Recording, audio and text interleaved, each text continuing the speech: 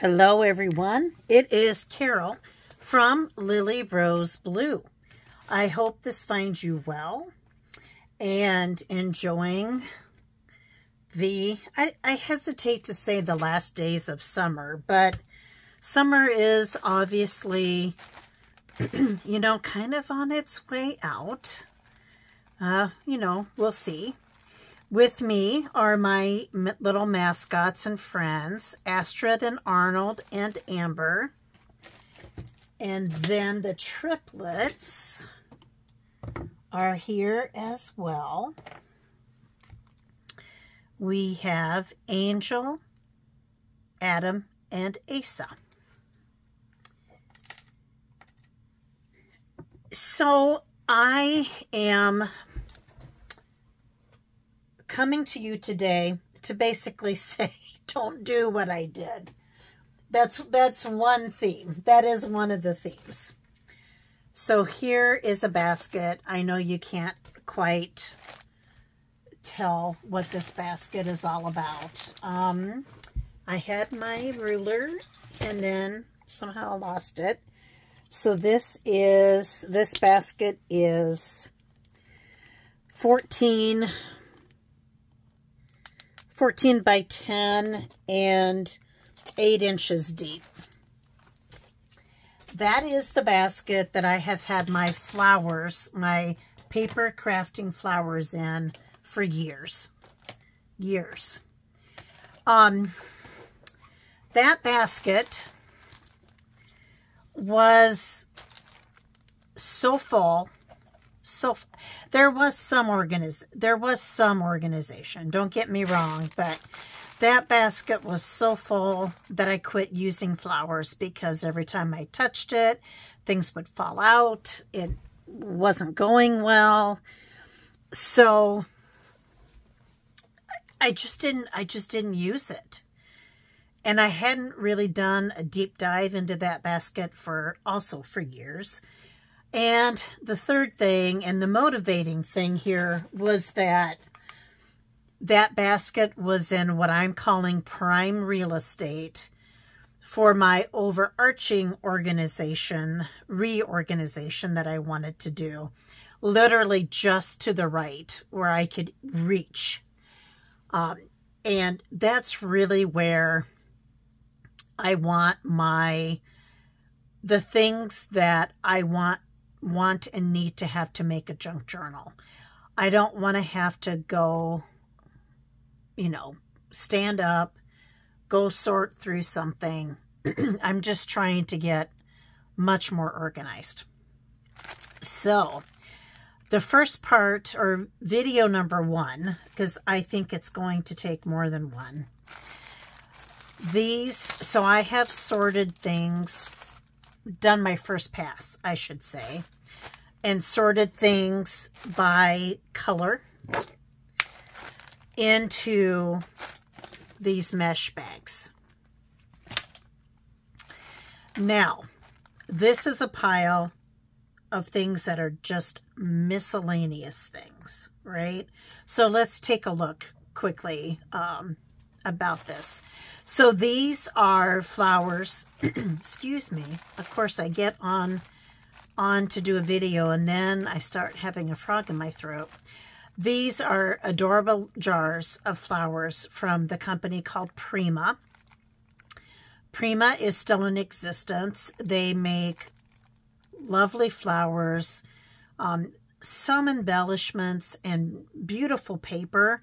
And I would say by and large, their paper style is more feminine and Victorian vintage, you know, soft, you know, that, that kind of thing, by and large. Excuse me, I needed to take a drink. So, I love these jars. They are adorable. I don't really have a spot to keep these jars at the moment, so I'm going to have to decide what to do, what to do about that. Whether I keep the these flowers in here like this, whether I take them out and sort them all by color, which I could with these two. I can't with that one. That would be hours and, and why? What's, what's the point? Um, these I've had for a long time. You can see I've used quite a few out of this jar and, you know, not an insignificant number out of this jar either. This one is uh, a jar that I picked up recently, thrifting at the Crowded Closet. Um, so this was just one way flowers were sold and um, how they were stored in, in my craft room. Very cute. It's a very cute idea. I just don't know if it's going to work in the future. I will we'll see. Then um, I just wanted to show you the miscellaneous bags of flowers that I had. I, I remember these were sold this way. Um, I get it you know, they, they do kind of go together. Um, these are probably, though, flowers that I am going to sort by color. I may keep these together just because they are a bit of a unique design. I don't know. I have to think about that. So I have thinking to do. These I love. Those are lilies. Those are just gorgeous. I've used quite a few of those. Um, here is a bag of flowers with buttons. So I'm sure this was in a kit. Look at that cute little fun button. I don't know if you can see that or not. So yeah, so there's buttons in here too. Oh, you know, same way with this bag. Look at that fun button. You could run a ribbon through that or whatever. So, yeah. These are felt. Again, grouped by color. You know, um, you know, colors that go together. Sold like that. Same way with this one. This was sold like that also felt. Then this was dried flowers that I purchased. Um, I'm not going to do, this is what it is. I don't think I'm, I, I'm just going to leave those the way they are.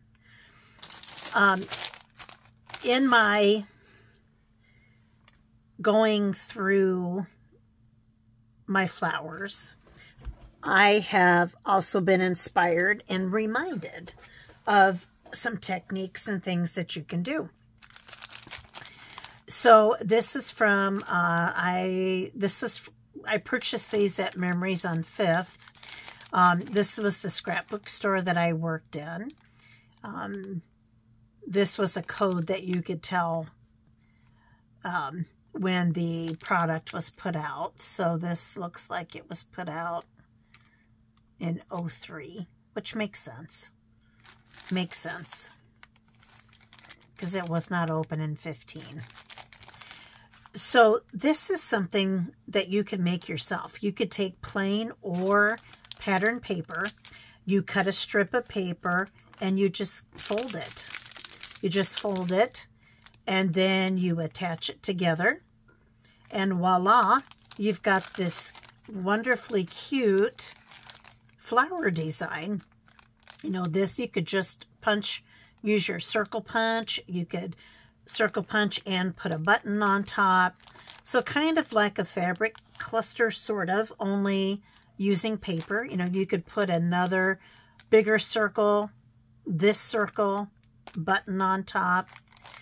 Just, you know, the the possibilities are limitless. You could stamp on your circle. Um, I might try I've I've made these in the past. Eh, wasn't my favorite thing to do, but if that's what I really wanted and I didn't have that at hand, I would make it myself. So I am going to put one of these to the side to decide if I, I will do a video for you about how to do that. It, again, you guys can figure it out, but sometimes it's just nice to see it in, you know, in a, in a video. So these are flowers from a company uh, called Basic Grey. Basic Grey is no longer a company, sadly. Um, it had some very eclectic uh, papers and products like this, but even though this seems a little, you know, a little wild, man, it worked. You should have saw some of the paper too, but so this has also given me some ideas. Um, this reminds me of Carrie the Paper Monkeys uh, fabric clusters. Um, super cute, super, super cute. Um, this happens to be felt. And it looks like, you know, they sewed on this felt. But, you know, this is layers of felt, circles of felt, and they're not round. I couldn't cut a perfectly round circle to save my soul. Even if I marked it, I don't know that I could cut it out.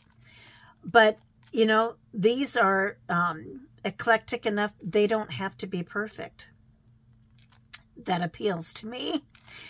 And, you know, you could cut out layers or circles of felt and put your button on there and voila, you've got a fun little embellishment. So there's that. Um, other people make fabric clusters too. Um, and again, these are just some other ideas. This was another um, flower. You know, there's multiple colors here. I probably will pull out these colors and separate those. I love these flowers. Again, this is from Prima. This is Tulle. And uh, let's just open one up. Sorry for the noise. Oh, it's thicker than I thought, actually. That's Tulle on the top.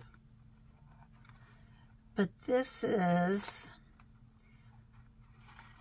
It's sturdier than you think. What is that? I'm not sure. That's almost a, a, burlap. There's one layer that, a fine burlap though. Yeah, I think, I think burlap. Or a, or a fabric similar to that. And then look at these beautiful buttons on the top. So pretty. So pretty.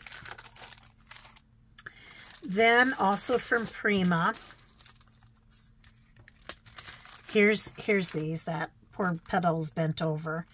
But again, some flowers that I will take off this cardboard, you know, take out of the packaging and sort by color. These I love. Um, also Prima.